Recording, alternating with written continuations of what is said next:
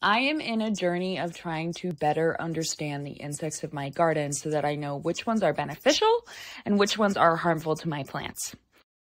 Insect diversity is an extremely important facet of our ecosystem health because insects act as pollinators, are natural controllers of garden pests, aid our soil health, balance our ecosystem, and act as a food source for our wildlife. Many insects like bees, butterflies, and even some flies and wasps are crucial pollinators that ensure that your plants produce abundant fruits and vegetables.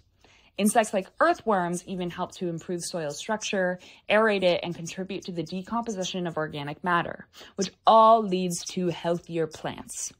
A diverse insect population creates an ecosystem that is resilient to damage, which also reduces the needs for things like pesticides and insecticides in your garden.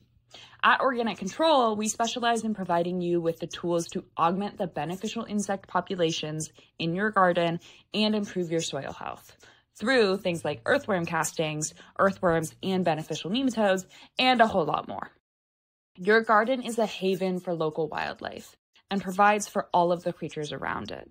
So now is the time to learn more about your beneficial insects to help them live their best lives.